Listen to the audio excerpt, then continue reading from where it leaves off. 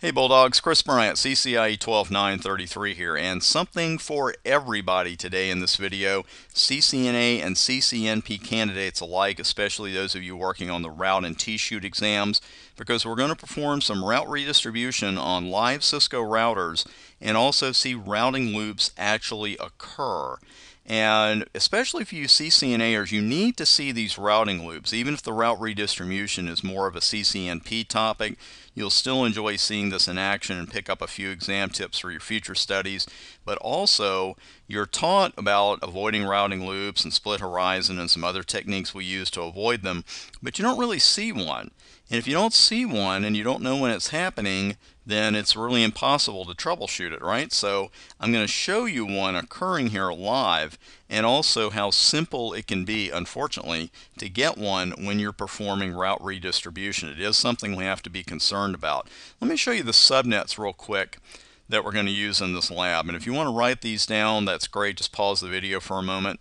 And if you don't, that's okay too because you're going to see especially the pertinent Ethernet segment and that router for loopback. You're going to see that throughout the lab.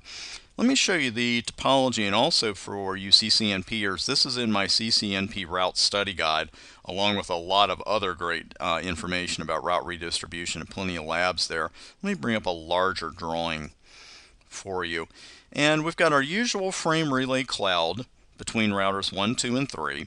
We also have an Ethernet segment between routers 2 and 3. So it looks like router 2 can get information two different ways in that segment, maybe from router 1 and from router 3. And we also have an OSPF area 0 between routers 3 and 4 and we are advertising, hopefully, this loopback network into router 4. That's the one we're really watching during this route redistribution. So instead of saying hopefully, let's bring the pod up and the first thing we do before we ever start redistribution, and do not laugh, is make sure that on the border router you have the route or routes that you're trying to redistribute in the first place. And I know that sounds funny. It's like, well, yeah, of course I'd have it or I wouldn't be doing it. Believe me, just run a show IP route and make sure you've got it. It can save you a lot of unnecessary troubleshooting later on. I have not done the redistribution yet, so we're going to go over a couple of good exam tips for you here as well. And let's start with RIP. What do I have to be concerned with as far as route, uh, redistribution into RIP? What do I need to set there? Well, I need to set a seed metric, and we call it, it's a kind of starter metric for the route, and let's see exactly why. And you can see it right here with this OSPF route. We know the first number in the brackets is the AD, that's 110. The second is the cost of the route in OSPFEs, and that's 65. Well, RIP considers a route with a metric of 16 to be unreachable. So if we try to give it a metric uh, or a route with a metric of 65, I mean, it's going to have a nervous breakdown. It's not going to know what to do with that. So it's just going to say immediately, you know what, I don't even understand what you're talking about. I don't want that. So we have to tell RIP, hey, here's a metric for these routes that we're redistributing that you can understand. It is a starter metric or technically called a seed metric. And one way to set that is with the default metric command. And I'm going to give it a default metric of 2. Now let's look at the redistribute commands here. I'm going to do redistribute connected routes, redistribute OSPF1 routes, and redistribute static routes.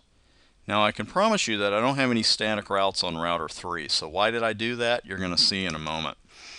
With router OSPF1 here, I don't have to set a seed metric because OSPF has a default seed metric of what CCNP candidates? Tell me what that is.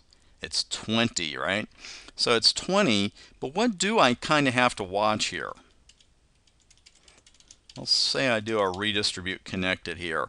That's a legal command in OSPF, but what is it recommended that I put there? Highly recommended. The subnets option. Because if without that, you're not going to get your subnets redistributed into OSPF, and you probably want those. So I will do a redistribute connected subnets and a redistribute RIP subnets. Now the reason I mentioned that redistribute static command that I put under the RIP, route, uh, RIP protocol is that I've noticed over the years, especially when people first start working with route redistribution, and believe me, I've been there, it's like I just want to make sure I get all my routes redistributed. So out of habit, you tend to put connected, which is generally a good idea, redistribute static, and then redistribute whatever dynamic routing protocol you're putting there. I would watch putting that redistribute static in there out of habit because that can cause some issues. Now we've performed our redistribution. Let's go down to router 2, this RIP router, and see if it's getting the route successfully from router 3.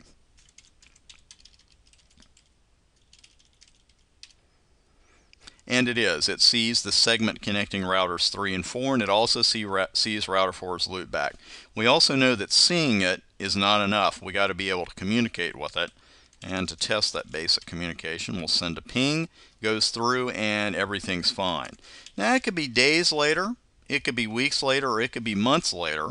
But some well-meaning, or maybe even not so well-meaning person comes in and says, you know what, we really need to put a static route on our border router to that loopback.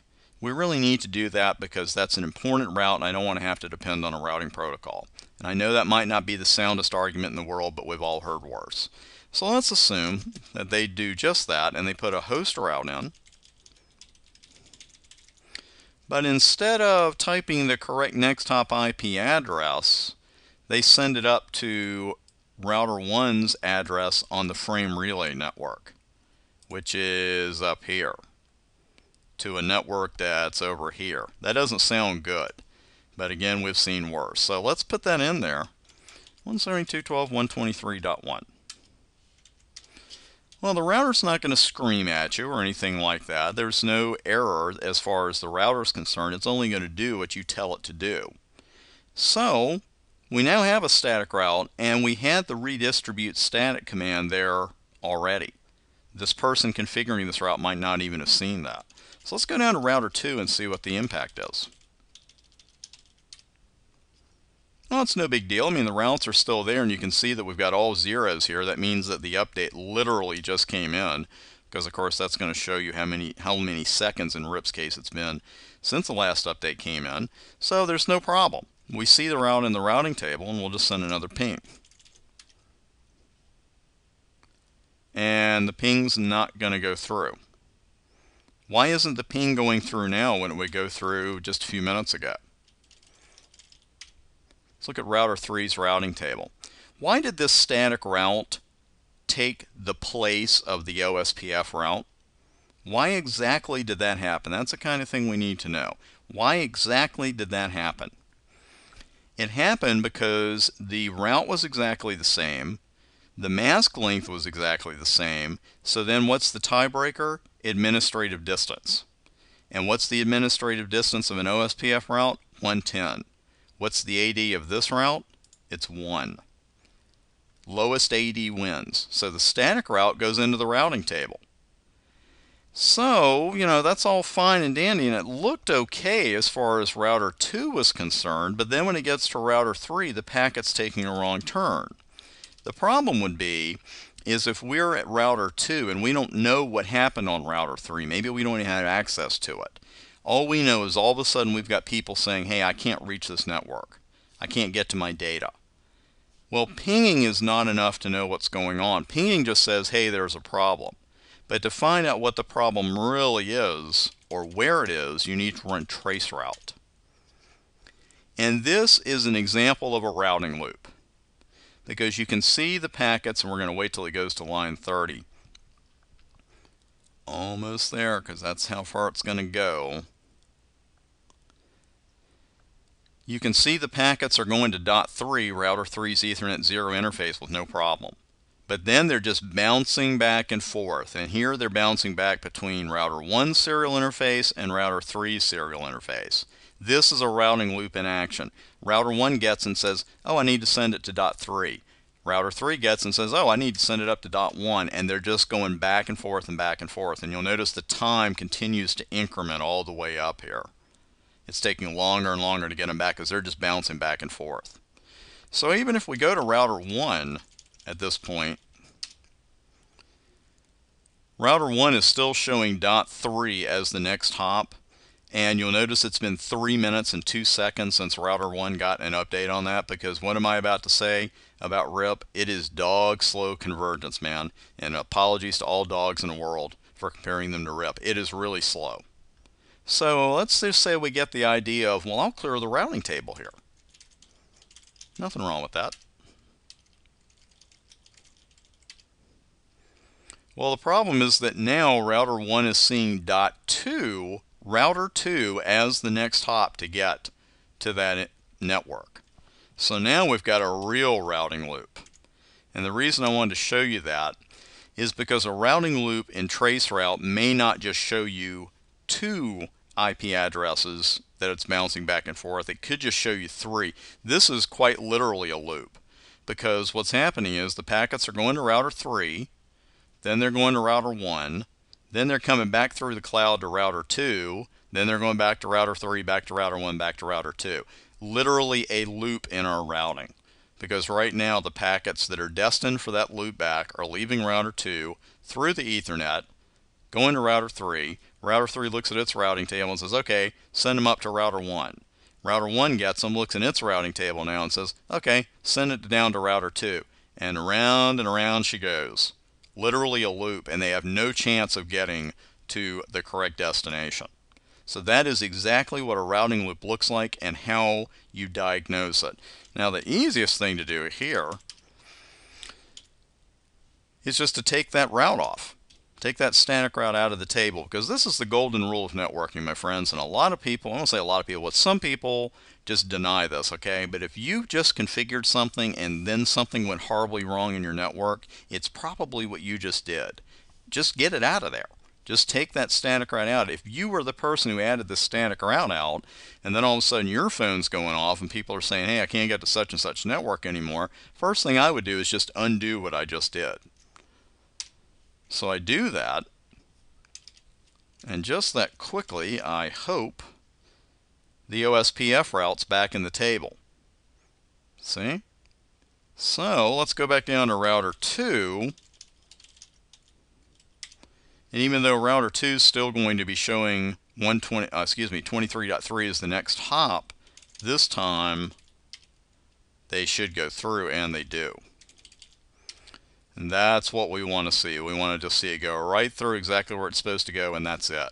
But again, especially if you CCNAers, but of course for you NPers as well, I really want you to see that because you need to know how to detect a routing loop because there was no way to tell what the ping. That wasn't doing the job. That was just saying you have a problem. But traceroute is going to show you exactly where the problem is.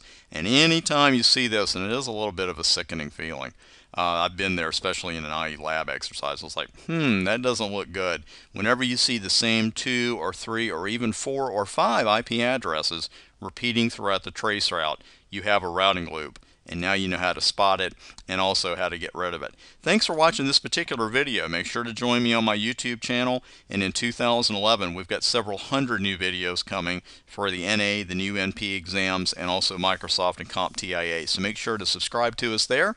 We'll see you on Twitter and Facebook as well. I'm Chris Bryant, CCIE 12933.